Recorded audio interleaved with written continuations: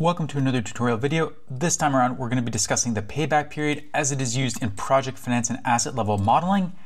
This is another topic where you can find a lot of articles and coverage online, but in my opinion, a lot of it doesn't really hit the mark in terms of how you calculate this and when it's useful and when it's not so useful.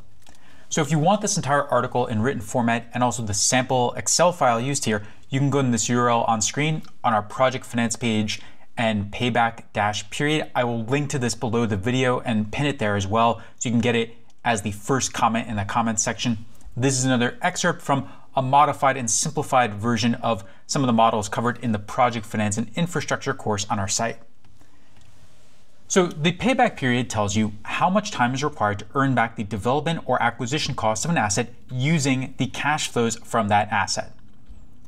So for example, in this very simple project finance model for a solar asset, if you go down and look at the payback period calculations down here, the levered payback period is 10.8 years. What this means is that if you track the upfront equity invested in the project of just over 800 million, and then you look at how much is recovered each year based on the cash flows to equity, we finally make a full recovery in year 11 or close to the end of year 11, which is why it's 10.8 years right here.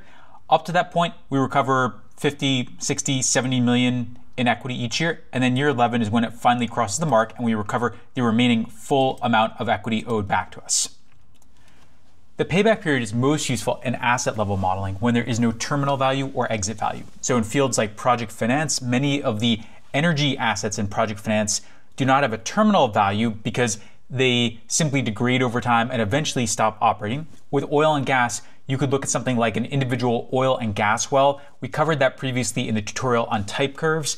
And then they even apply in biotech, which may seem a little bit different, but it's similar because drugs in biotech don't have terminal values or exit values. Instead, they take a long time and a lot of money to develop. They launch to the market, they hit peak sales, and then they decline from that level over time as generics enter the market and force down prices. And eventually, sales just go down to zero or a very low level. In all these cases, the commonality is that the cash flows during the holding period are critical because there is no terminal value or exit value. So you have to look at the cash flows in the holding period to see what type of return the investors can expect. And the payback period is critical for evaluating this because a shorter payback period means there's less risk and there's probably also higher growth potential for the cash flows. A longer payback period means there's more risk. Investors have to wait a longer time to be fully paid back. And in a lot of cases, it also means that there's probably less growth potential in the asset. So to calculate the payback period, you need to know a couple terms first. The break-even point or break-even year is the period in which the cumulative cash flows generated equal the upfront investment. And then to calculate the payback period when the cash flows change over time, you take the number of years before the break-even point and then you add the unrecovered capital at the start of the break-even year divided by the cash flow in that break-even year. And we do something very similar in the file here where for this payback period, we're essentially using a COUNTIF function to count the number of years before this break-even point or break-even year, and then we add the 80% of the year that's required with the cash flow generated to fully recover the remaining unrecovered equity in this year. Now, if it is a simple case with constant cash flows, then it's very easy. You just take the upfront investment and divide by the annual cash flow. So if it's $1,000 and you get 100 in cash flow per year, the payback period is 1,000 divided by 100 or 10. If you compare the payback period to IRR and NPV, the main difference is that the payback period does not factor in the time value of money. Unlike NPV, it doesn't require a discount rate assumption either. So it is more objective than these metrics, but you could argue that it's also maybe less accurate to real life and how real world investment decisions are made because it doesn't factor in the time value of money. You wouldn't use a payback period to evaluate a traditional leveraged buyout or LBO model because the holding period tends to be only five to seven years, and the payback period for a normal company is almost always going to be far longer than this. And so the private equity firm doesn't really care that much about it. Most of the risk is going to be with the exit of the company. However, you might still use the payback period if you're analyzing a growth strategy of a company, such as building new stores or factories, and you want to see how long on average it takes for each one to be paid back so you can say whether the strategy is economically viable. So that's the short version. For this tutorial, I'm going to start by showing you the calculations for the levered and unlevered payback periods. Then we'll talk about the payback period versus the IRR and multiples and why they often tell you different stories. And then we'll look at a quick example for a biotech firm taken from our biotech valuation course. We'll go through a simple modified model from there so you can see how it looks different in this industry. So to make these calculations, you need to have a finished cash flow model. You need to track quite a few things, the upfront equity, the unrecovered equity in each period, the break-even point, and the year fraction as well. So I defined some of the terms up here on screen, but let's just go in and look at the calculations in Excel. I'm going to bring up a version of this model that has the levered payback period calculations blank so you can see how we can develop them from the ground up. Okay, so here we are back in the same model and the same file here, our simplified solar acquisition model. The first thing you'll want to do is bring in the upfront investor equity, which is going to be at the top here. We have this area for the assumptions and it's right here, the investor equity of 815 million. Now after that, you'll want to track the positive cash flow to equity in each period. Sometimes you'll have to use an if statement or a max zero, but in this case, all the cash flows to equity are positive. So there's no real point in doing that. We can just link to them directly from our return schedule and bring them down like this.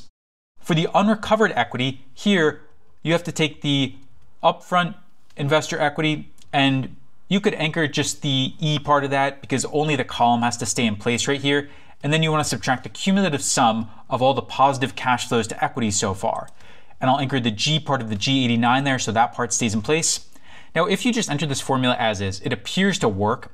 The problem is that it turns negative if you go all the way to the end because we've now recovered more than that upfront equity. And so to guard against this, a simple method is to put a max zero around it like this, and this will stop it from turning negative. When it gets to that point, it'll simply go to zero and stay at zero, meaning that we fully recovered the upfront equity.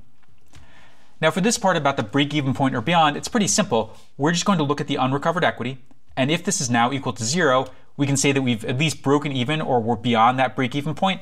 Otherwise, we haven't, so I'll say zero. For the year fraction for recovery, so this is something that we only care about in the break-even year. So we're going to first look at the break-even point or beyond in the previous year. If this is equal to zero, and then the one in our current year equals one, that means we just hit the break-even point, which means that we do actually care about this. So we're going to take the unrecovered equity from the previous period or from the start of this year, and then divide by the cash flow to equity in this year, and we'll say NA if we're not in this period. We have that. And this is actually all we need for the payback period calculation. So let's copy these down and copy them over and see what we get to. So we get all zeros here up until year 10. And then finally in year 11, this turns to one, meaning we hit the break-even point and we need about 80% of the year to recover the 170 million of remaining unrecovered equity right there. To calculate the payback period now, we can use this COUNTIF function and we'll count up all these zeros in this period, so count if zero, and then we'll do a simple summation for the year fraction row down here, and we get the 10.8 for the levered payback period. So we have that. Now you could also look at this on an unlevered basis, which is very similar, except now you use the total upfront capital rather than just the equity, and you use unlevered cash flow rather than cash flow to equity, which means you exclude the interest and debt amortization, and you have to recalculate taxes based on a higher number. So if you go down and look at our calculations here, the setup is very similar, except now we have positive unlevered cash flow. And to calculate this, we start with the pre-tax income, we add back the interest expense, and then we multiply by one minus the tax rate. Then we subtract maintenance capex, and we factor in the change in working capital. And then we add back the depreciation lines because these are non-cash. This ends up being quite a bit higher than our cash flow to equity if you just look at it numerically. We're dealing with numbers here in the 160 to 180 million range here, so about 100 million dollars higher than our cash flows to equity above. And you can see the impact here that the unlevered payback period in this case is 8.8 years, whereas it was 10.8 years in the levered case.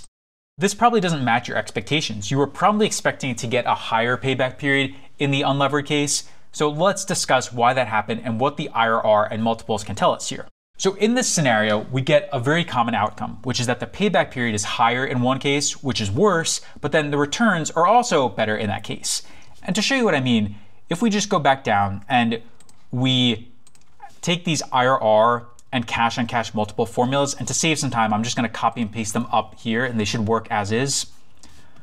And okay, so I forgot to link in the total cash flow to equity. Let's do that. I'll link up here to bring this in. And once I do this, it should work.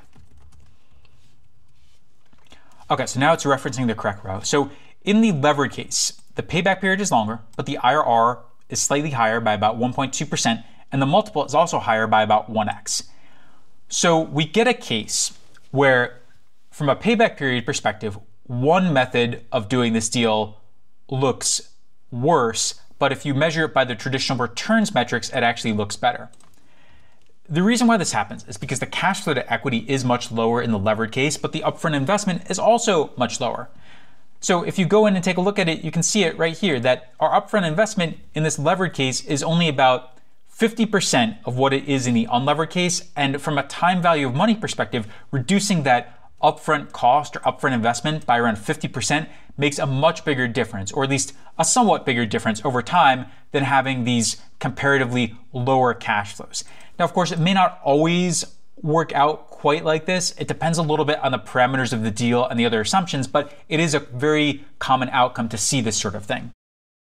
People often ask what a good payback period is, and I don't really think there's a universal standard, but one trick is that you could look at the expected payback period and compare it to the actual one.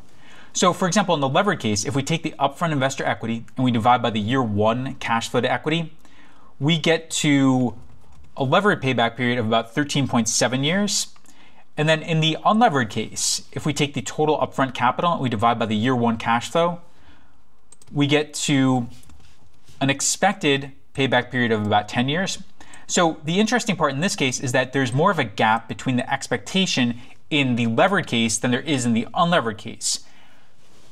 You could view this as the growth being stronger in the levered case, but actually the explanation is probably simpler than that, which is that in the levered case, the debt is also fully repaid in year 10. And so by year 11, we get to a much higher cash flow to equity. And so that's why there ends up being more of a gap here, or one of the reasons why there ends up being more of a gap here, whereas it's closer to what you might expect in the unlevered case. The growth is just not as strong here because there is no debt to actually be fully repaid or fully amortized in this case.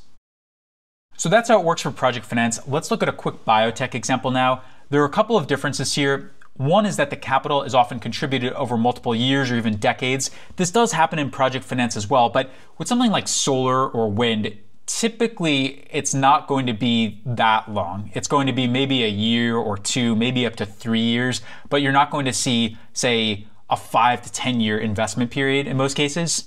You also have to make some probability adjustments because drugs could pass or not pass the phase one, phase two, and phase three clinical trials.